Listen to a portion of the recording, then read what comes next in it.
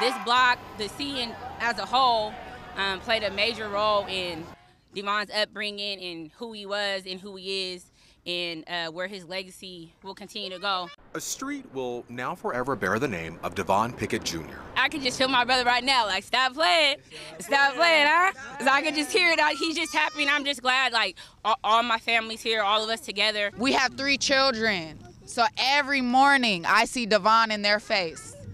Every day I'm reminded that he's still here in his legacy. D'Vonne's loved ones celebrating, but also grieving. His mother, a representation of those emotions. Today, uh,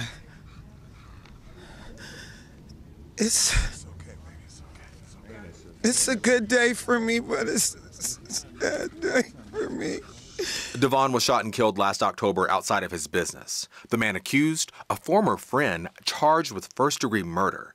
That tragic and traumatic death compounding the impact of gun violence this family has already felt. Gun violence killed my cousin, D'Vonne Pickett Sr. Gun violence killed my cousin, D'Vonne Pickett Jr. I'd be remiss if I didn't say that. We got to protect our community.